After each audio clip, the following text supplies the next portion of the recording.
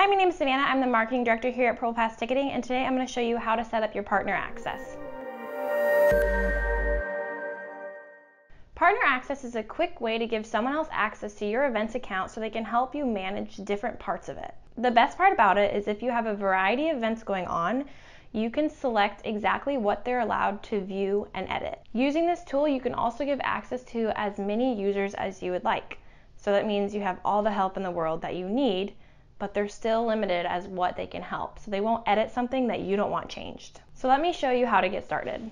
First, go to your Purplepass account and log in. Once you're in your account, you can start by creating a new event or editing an existing one. Once you're in the event you want to edit, scroll all the way down until you find additional options. Click where it says Assign Partners. From here, just enter the email or emails you wish to give access to. Once the email is approved, you can now select exactly what they're allowed to view and edit. They also have the ability to add to or edit the guest list. On the same tab, at the very bottom is where the third-party payout options are.